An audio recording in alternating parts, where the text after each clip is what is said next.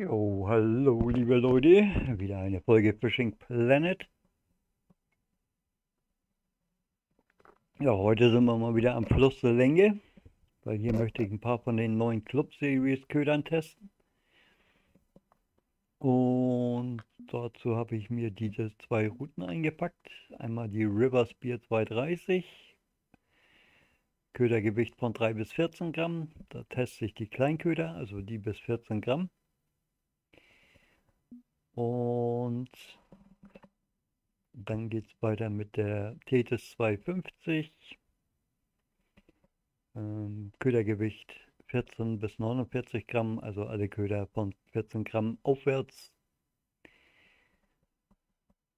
Ja. Und da habe ich auch ein paar mit. Und zwar hier einmal den Club Series Casting Spoon 21 Gramm, den Club Series leuchtender holographischer Blinker, also auch ein Spoon für die Nacht, 28 Gramm. Dann den Club Series leuchtenden holographischen Medium Spoon, 28 Gramm. Äh, den Club Series Spoon 14 Gramm, also Narrow Spoon. Und dann geht es weiter mit den Club Series Spinnerbait, 14 Gramm, rote 2.0. Und dann geht's los mit den Barbless-Geschichten. Mal gucken. Äh, Barbless, ja, da geht's weiter. Club Series Barbless Nano Spoon, 6 Gramm. Und Club Series Barbless Narrow Spoon, 7 Gramm. Und dann noch den Club Series, äh, wo ist er? Tiefer. Genau, einmal hier den Club Series Barbless Nano Spinner 6 Gramm und den Club Series Barbless Spinner 14 Gramm. Und das war's dann. Das sind die Köder, die ich mit habe. Anfangen werde ich jetzt hier mit dem Narrow Spoon 7 Gramm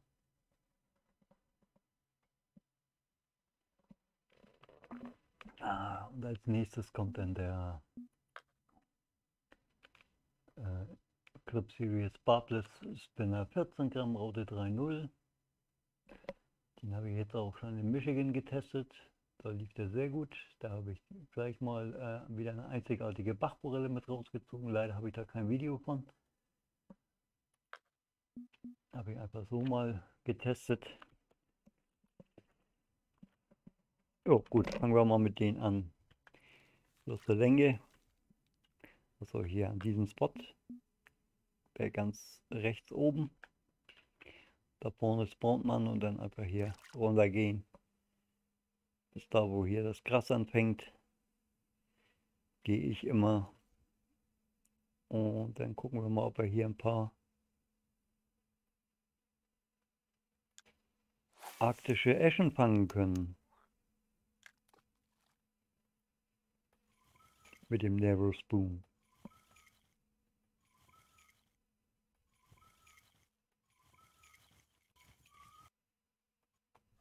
Oh, da beißt auch gleich was.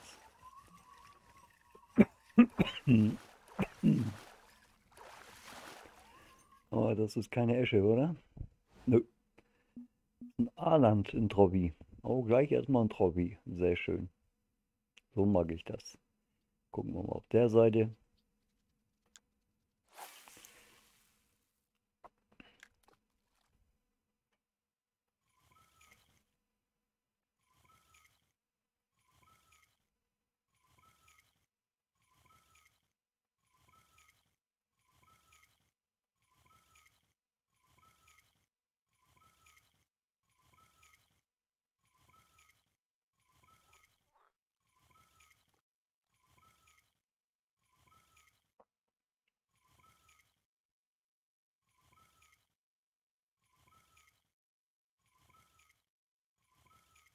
Auf der Seite will schon mal nichts beißen.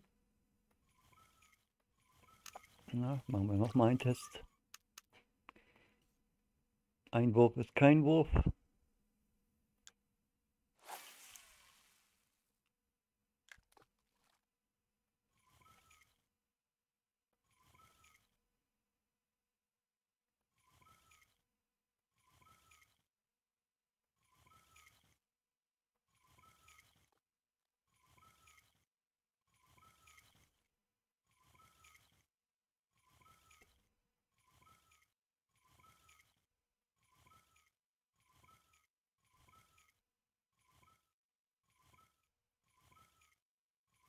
Nö, auf der Seite scheint wirklich nichts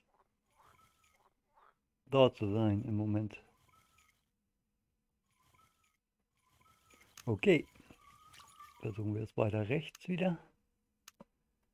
Gucken, ob wir da nochmal eine Esche ziehen hier. Ein bisschen weiter Richtung Stein.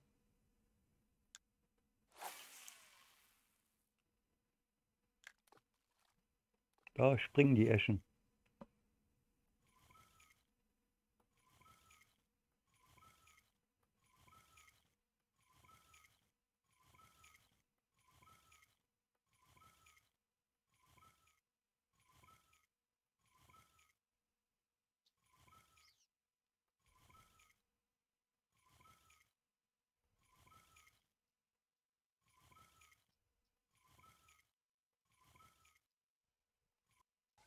Oh, dabei ist doch was.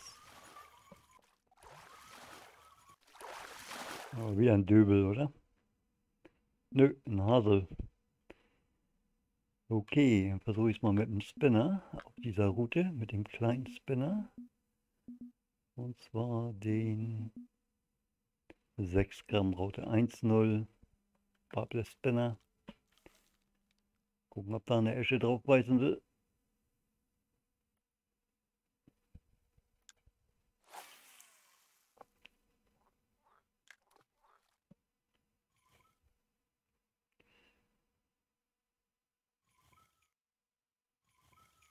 Gehen wir mal auf Tempo 1. 6 Gramm Köder auf Tempo 2 geht zu schnell nach oben.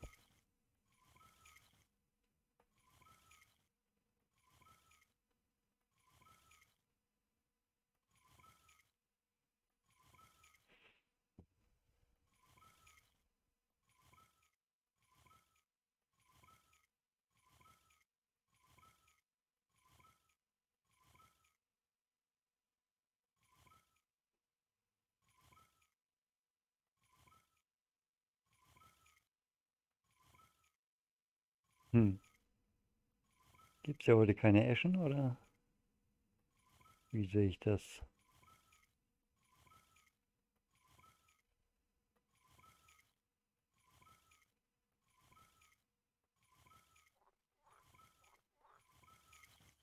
Ja, wenn gerade keine Eschen beißen wollen, versuchen wir was anderes. Nehmen wir die andere Route mit den 14 Gramm Barbless Spinner ähm, ja, mit der 3-0 Haken. Versuchen von da hinten und gucken mal, ob ein Lennox beißt.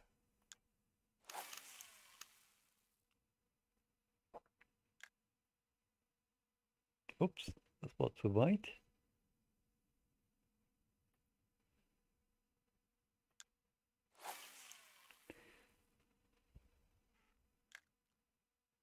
Nö, es kann nicht schon wieder zu weit gewesen sein. Unmöglich. Da ist es zu weit. Wenn ich dahin werfe, kann nicht zu weit sein. Und ich drücke immer so ab, dass er auch nicht über den kleinen schwarzen Strich da... Ja, jetzt ist er nämlich zu kurz. Also...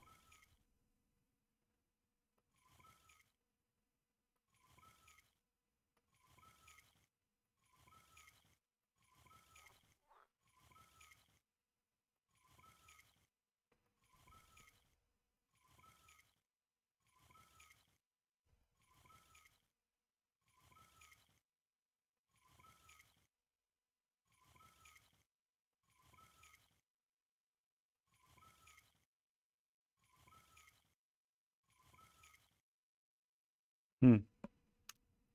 Gehen wir auch hier auf Tempo 1. Selbst der 14 Gramm Köder geht zu schnell hoch.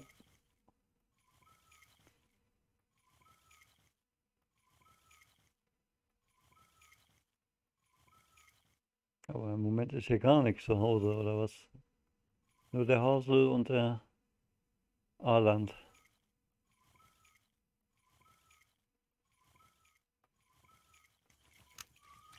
Von meinen Zielfischen ist hier keine Spur. Weder die Esche noch die noch der Lennox.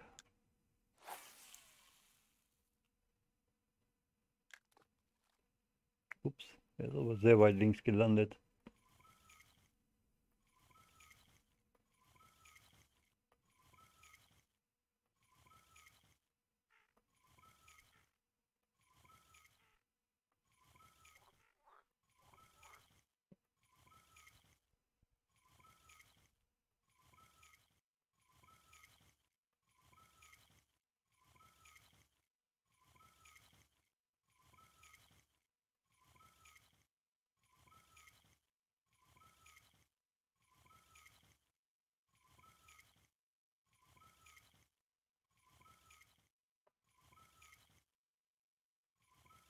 Gibt's doch gar nicht.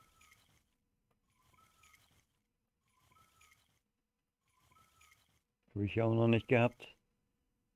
Ah, ich war auch lange nicht hier. Wer weiß, was sie hier schon wieder geändert haben inzwischen.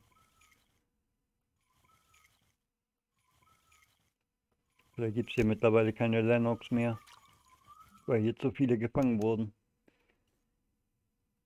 Haben sie den Spot wieder geändert.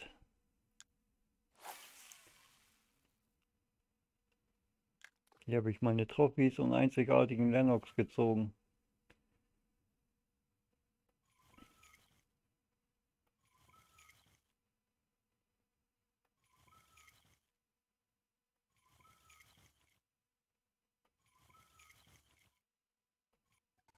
Aha, aber nur ein Fehlbiss. Ja, 3 0 Hacken kann nicht zu groß sein für die Lennox.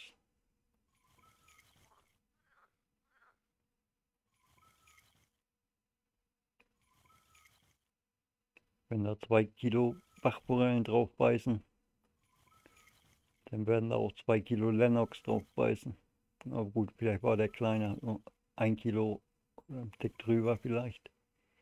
Und dem war der Dreierhaken ganz schön groß, hat gleich wieder losgelassen. Ja, probieren wir es nochmal.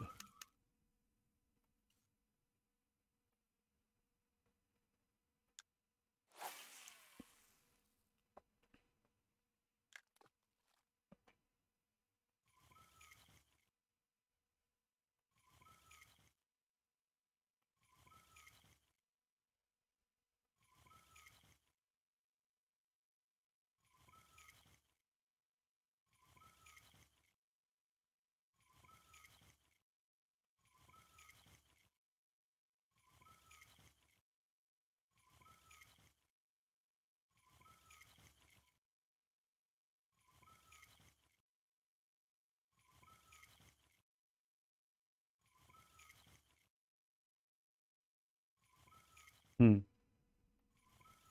Irgendwie will hier nichts beißen mehr. Zwei kleine Fische und dann ist hier wieder Feierabend. Ganz merkwürdig ist das hier.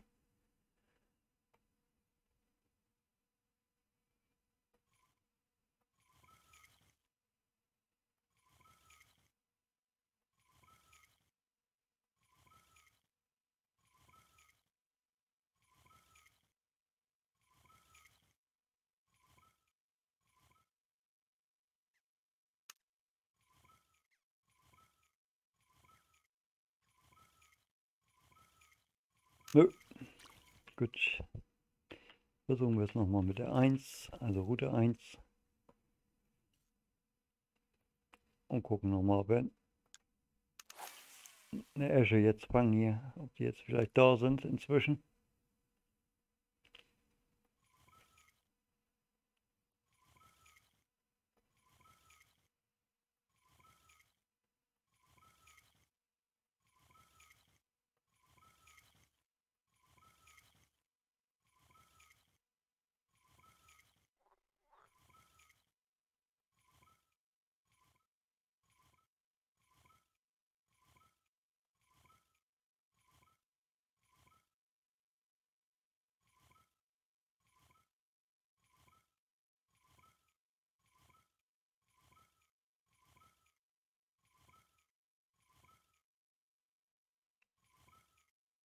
Gibt's gar nicht.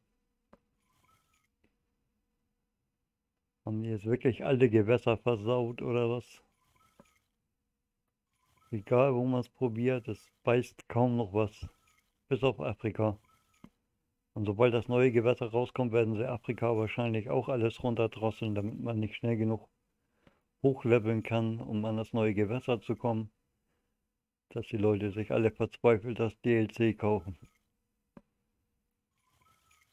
Das machen sie schon seit ein paar Jahren so, immer, immer beim neuen Gewässer wird das letzte Gewässer dann auch genervt. Also alles runtergeschraubt, die ganzen Spawnraten der Fische. Sieht man ja schon an Amazonas, seitdem Afrika raus ist, läuft am Amazonas gar nichts mehr. Vorher lief das auch super. Einer nach dem anderen gebissen. Kommt man sogar Haie farmen. Das geht mittlerweile gar nicht mehr. Wenn man Glück hat, beißen noch ein, zwei Haie am Tag. Irgendwie. Und Arapaimos vielleicht 10 am Tag. Mit ganz viel Glück.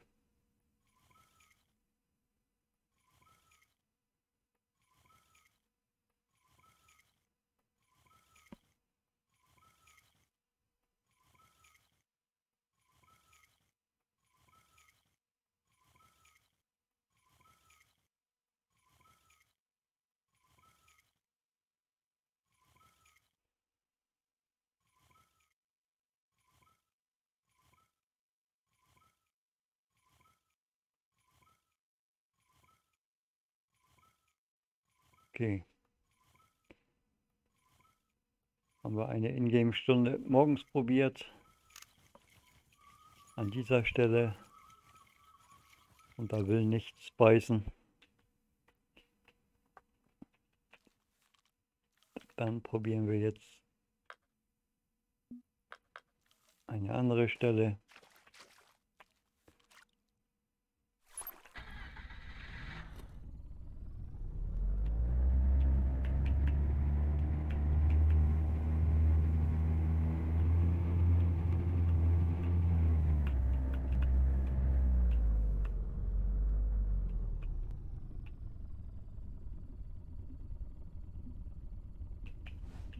Na, falsche Taste.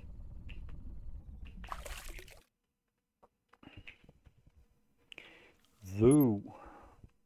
Spulen wir vor auf Abend. Ach, geht noch nicht. Ja, egal.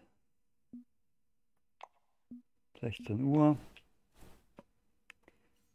Dann probieren wir es mal hier.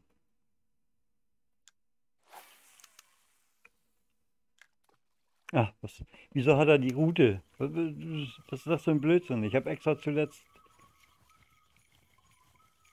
die Route ausgewählt. Nee, die. Und er wechselte einfach die Route. Kommen wir denn da hin, wenn das, wenn ja jeder täte, was er will, irgendwie? Geht ja gar nicht. Hä?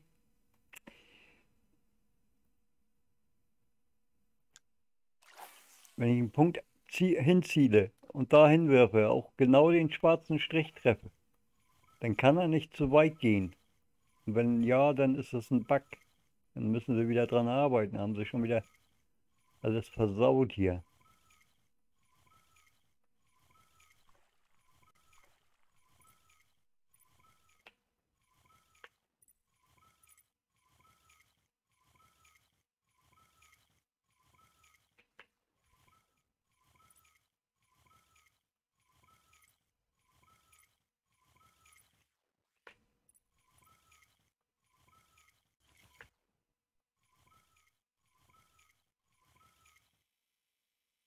Stellen wir mal mit der Bootspitze da rein.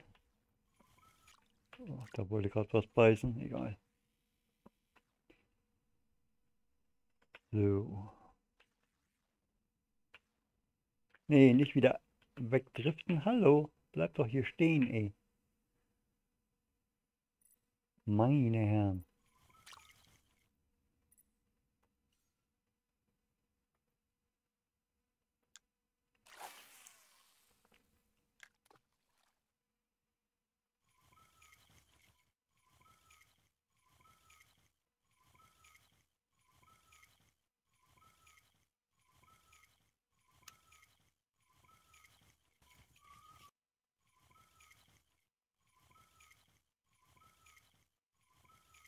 Aber auch hier will nichts beißen, wollte ich gerade sagen. Ah, doch.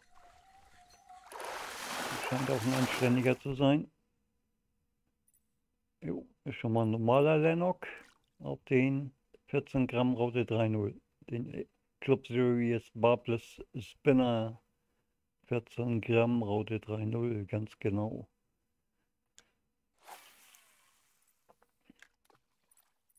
Gucken, ob wir noch einen größeren erwischen.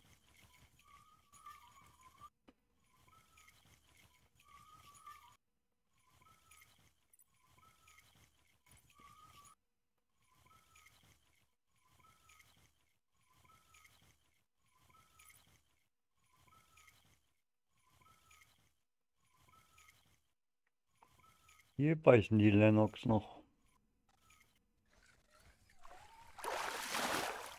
Und. Na komm, nimm ihn an. Was soll das Rumgespiele? Nee, ne? Der ist nicht wirklich jetzt vom Haken. Hä? Der nimmt den Fisch einfach nicht an und dann springt der Fisch vom Haken. Was ist das für eine Verarschung hier? Also so langsam habe ich echt keinen Bock mehr auf Fishing Planet. Irgendwie. Das haben sie total kaputt gemacht, das Spiel.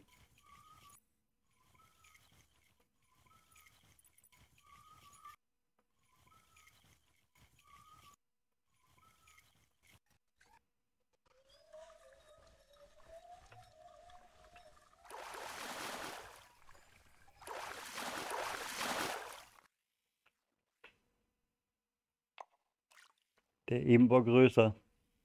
Das war bestimmt mindestens ein Troppi. Und das Boot treibt hier ständig weg. Da muss ich auch ändern. Ah, nee, hallo. Komm. Wenn ich die Taste drücke, dann drücke ich die Taste. Und nicht umsonst.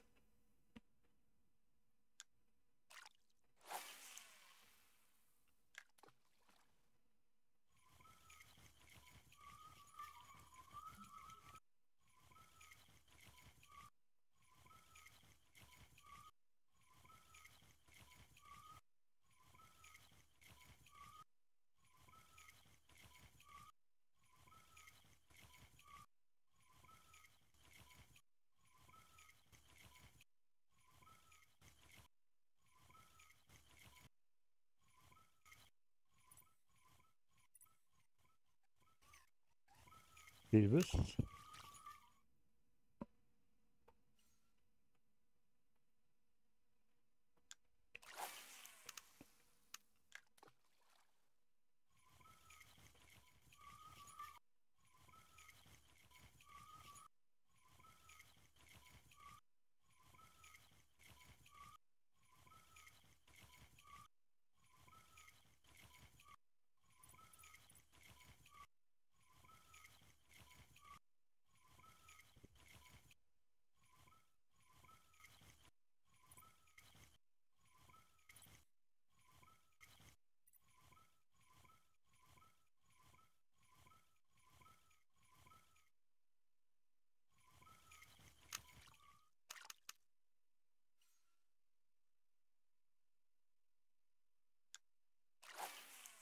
So, jetzt will ich hier aber mindestens noch einen Trophy oder einzigartigen fangen.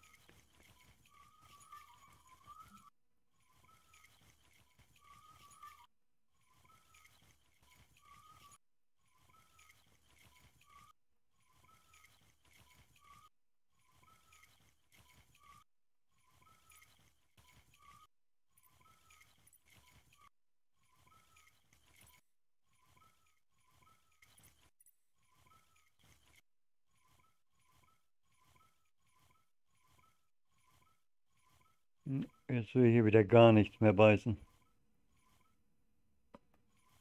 Das ist wieder so typisch Fishing Planet, ey.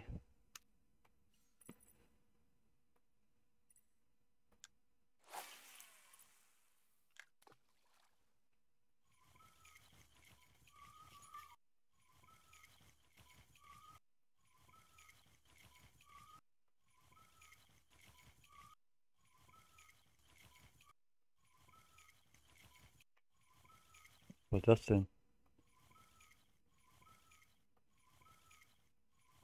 Das war kein Fehlbiss. Köder einfach abgesackt. Also kann sein, dass da irgendwas im Wasser liegt.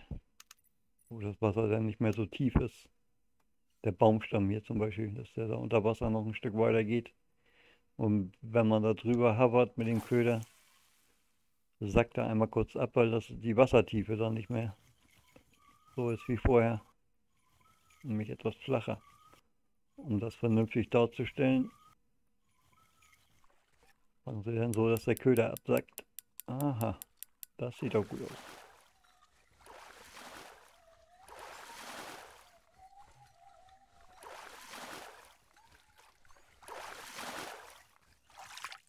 Und Trophy Lennock ja, wenigstens schon mal ein Trophy Lennock. Aber ich hoffe immer noch auf den einzigartigen.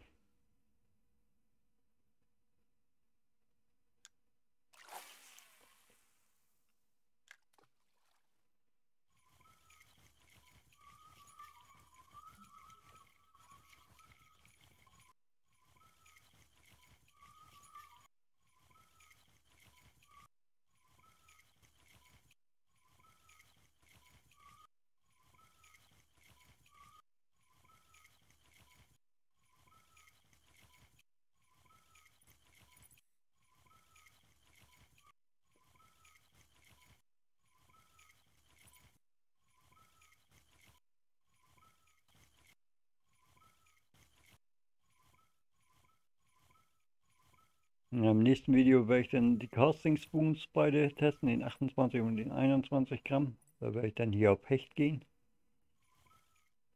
Hecht ist der beste Fisch für Casting Spoon.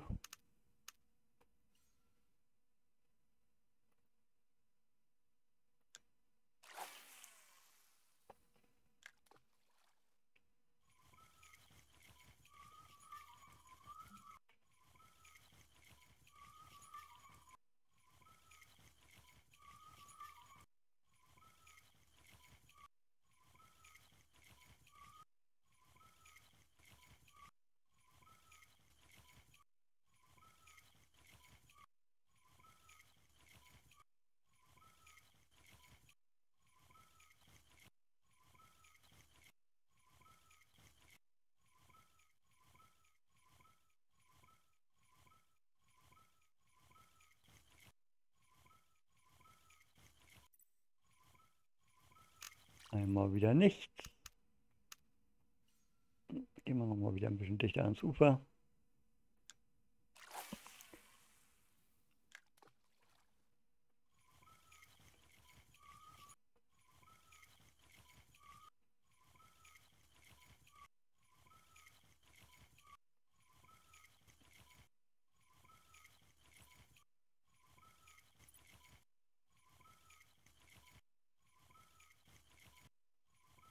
Fehlbiss.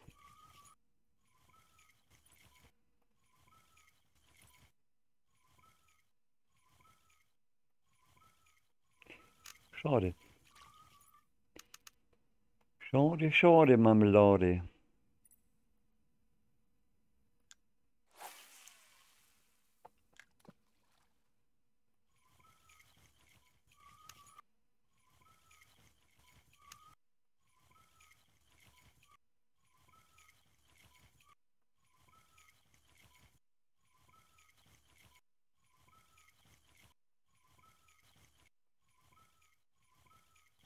War gerade wieder die Stelle, wo es etwas flacher ist. Köder wieder minimal ein bisschen abgesackt.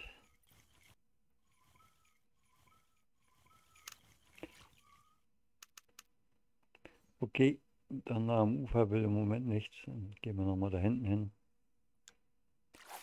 Auch nah am Ufer, aber ein bisschen weiter flussaufwärts.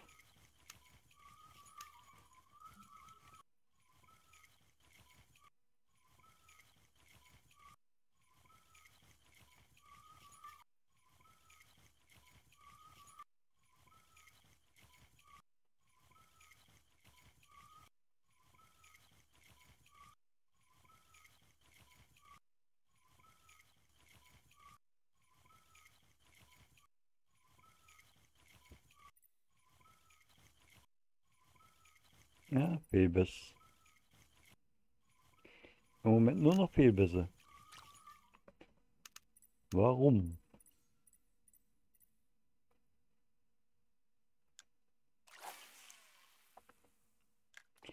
Elf Ingame-Minuten noch, dann endet das Video. Weil dann ist es schon wieder über 30 Minuten lang.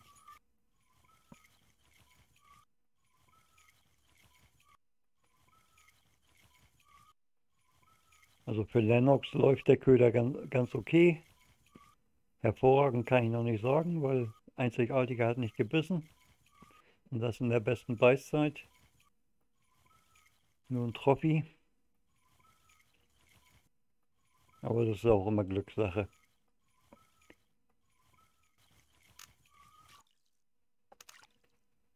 Ich versuche es nochmal mit Tempo 2 statt Tempo 1.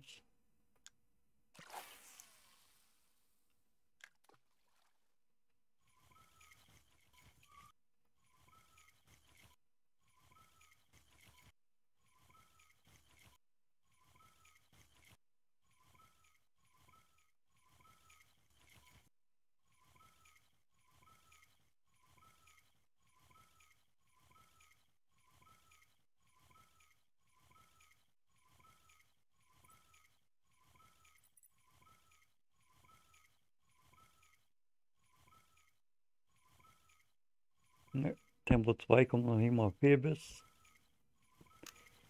Keine Attacke. Oh, ich probiere es nochmal. Okay, noch ein Stück weiter hinten hin.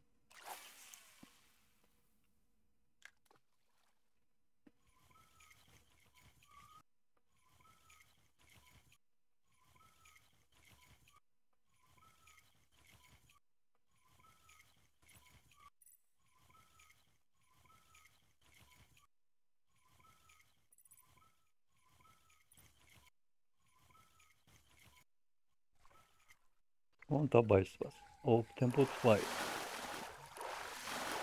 Das ist ein kleinerer. Aber wieder ein Lennox, wie es aussieht. Jo. Ein Baby Lennox. Okay, Leute. Das soll es dann soweit erstmal gewesen sein. Wie gesagt, im nächsten Video dann probiere ich die Casting Spoons aus und jo, sehen wir uns im nächsten Video. Bis dahin. Tschüss.